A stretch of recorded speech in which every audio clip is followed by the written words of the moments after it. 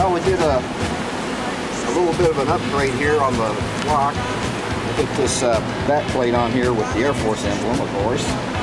And I also have the uh, night sights on here, which I like, uh, especially at night. It really glows good, so it's easy to pick up that front sight. So we're going to give it a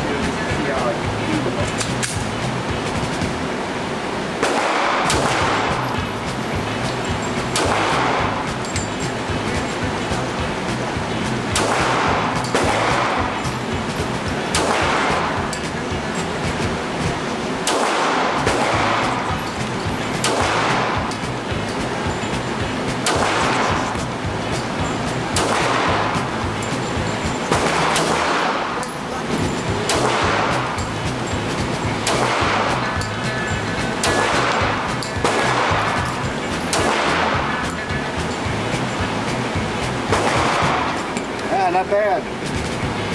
The eyes still ain't as good as they usually are. Yeah, I kind of like that.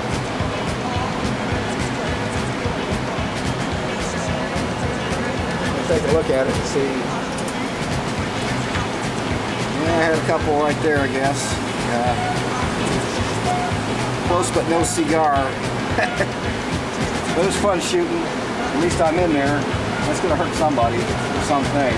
Whatever.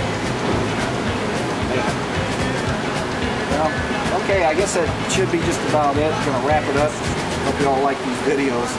Take care, and we'll talk to you later. We're at St. Louis Sharpshooters on Gravois in St. Louis, Missouri.